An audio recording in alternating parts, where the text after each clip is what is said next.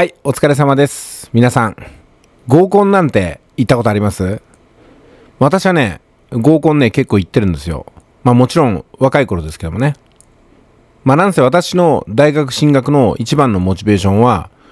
合コンをしてモテたいっていうことだったんですよね。で、ママと大学に行って、一生懸命毎週毎週最低2回は合コンに励みました。まあそんな4年中2年間を過ごしていたんですよね。大学1年生2年生はとにかく熱心に合コンしましたね。で、3年生は就職活動に一生懸命時間を割いて、4年生の時は思い出作りに、まあ大学4年間で仲良くなった人と主に過ごしておりました。まあそんな形で私の4年間は、まあ学業とは全く別の方向で進んでいったわけですけども、だからこそわかる合コンと FX の関係。今日はそれについてお話ししようと思います。まあ合コンが最もね、盛り上がる人数設定ってのは、私はね、男女3対3だと思うんですよ。3対3で、その中で1組カップルが成立できればいいな、みたいな感じで、漢字をやるわけですけども、もちろんね、漢字が一番有利なんで、漢字が持てることはあります。漢字同士が、男性の漢字、女性の漢字がそれぞれうまくいくってケースが一番多いんですけども、でもそれを除いたらね、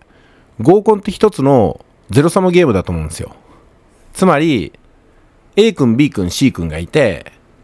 で、A さん、B さん、C さんっていう女の子がいて、例えば A 君、B 君が一人の女の子、A さんを狙った場合、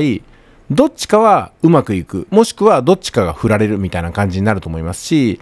両方が振られることはあっても、両方がうまくいくって例はないと思うんですよ。まあ、つまり、女の子に二股かけられちゃったっていうのは、求める結末ではないですよね。だから基本的には合コンやると、誰かがモテて、他の人がモテないっていう格差が生まれるんですよ。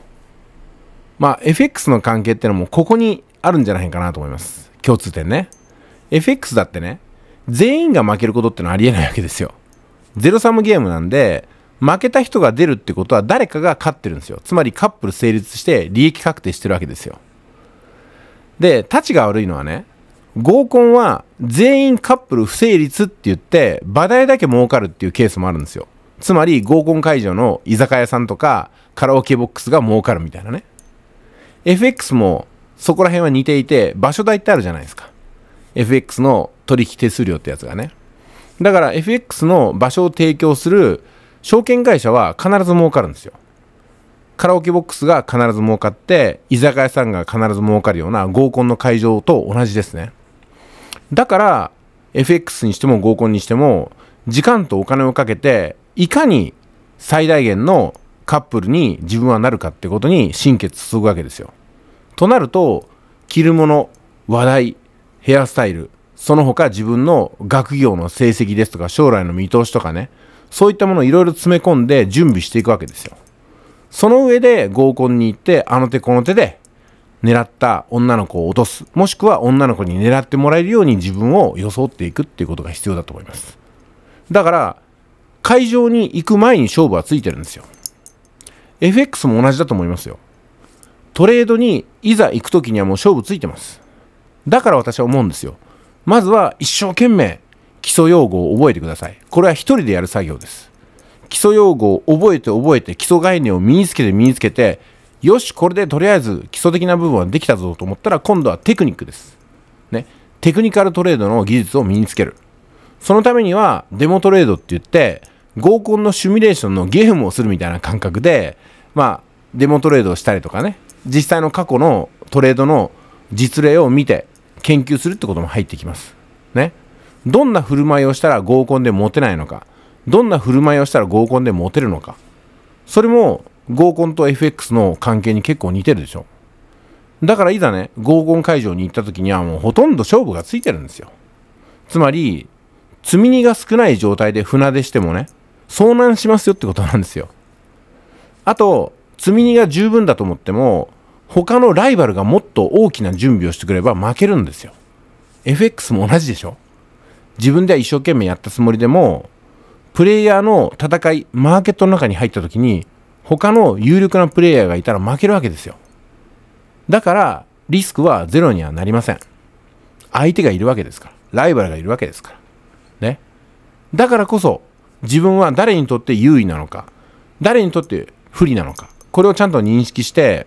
ほとんど多くの FX プレイヤーもしくは合コンの参加者よりも自分は優位だなと思ったら勝負になるそこまで目算を立てていくかどうかを決めるエントリーするかどうかを決めるわけですよね合コンに呼ばれたけども他のメンバーがジャニーズですとかね芸能人ですって言ったらもう行かないのが賢明です。そうでしょ？これはよく女の子が使う手ですけども女の子の幹事さんに合コンの他のメンバーをお願いするととっても可愛い子が来るよって言ってね幹事さんが誘った女の子は幹事よりもちょっとレベルが低い女の子なんですよ。でもこれは男の方にも言えるんですよ。男性だってねこいつを参加させたらこいつが絶対モテるよってやつには合コンの情報を教えないでしょ。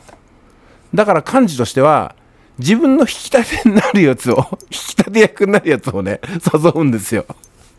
で結局自分だけモテたりとかするんですよね。